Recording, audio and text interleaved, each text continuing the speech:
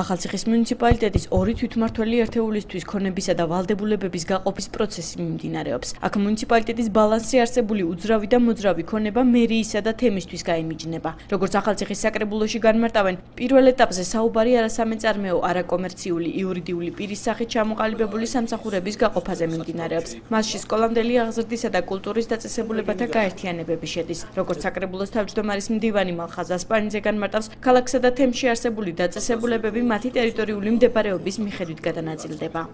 ქალაქში არსებული საბავშვო ბაღები დარჩება მუნიციპალიტეტში, ანუ ქალაქში, მერიას და სოფელად არსებული საბავშვო ბაღები და ასევე კულტურის სახლები და სამუსიკო სკოლები გადავა თემის გაერთიანებაში.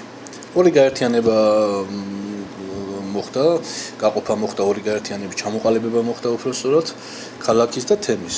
სხვა ქონებაზე არ ყოფილა საუბარი, რა მითითებაც მოგდის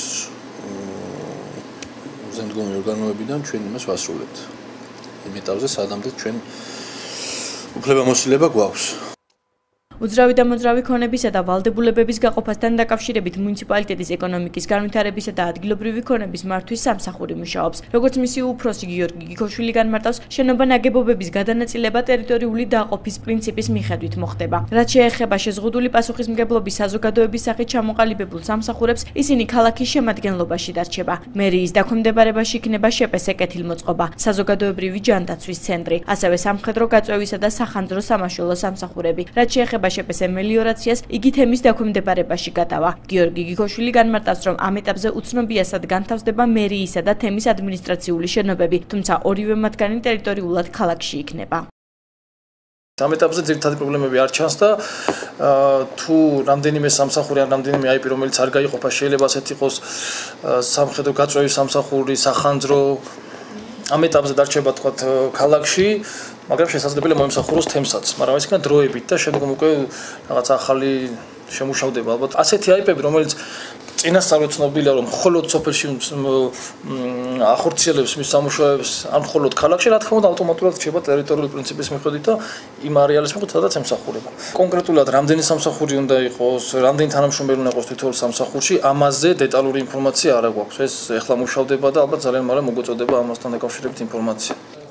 მუნიციპალიტეტებს შორის ქონებისა და ვალდებულებების გადანაწილებასთან დაკავშირებით რეგიონული განვითარებისა და ინფრასტრუქტურის სამინისტრომ ერთიანი წესი შეიმუშავა, რომელიც შვიდივე თვითმმართველ ქალაქში მოქმედებს. აღნიშნული დოკუმენტი საქართველოს მთავრობამ დაამტკიცა. გარდა ქონებისა, მუნიციპალიტეტში მუშაობა მიმდინარეობს ბიუჯეტთან დაკავშირებითაც. თვითმმართველი ქალაქები ამ ხრივაც ზოგადი წესის მიხედვით მოქმედებენ. მთავრობამ დაამტკიცა ბიუჯეტის გაყოფის და ბიუჯეტის პროექტების შედგენის წესი აი ამ დარჩენილ 6 თვეში, ანუ ივლისიდან დეკემბრამდე ამ გარდამავალ პერიოდში, იცით რომ ესეც საკმაოდ ბევრ ტექნიკურ სირთულესთან იყო დაკავშირებული. ამ წესის შესაბამისად სამინისტრომ უკვე იმუშავა 7 მუნიციპალიტეტთან და მზადდება ბიუჯეტის პროექტები.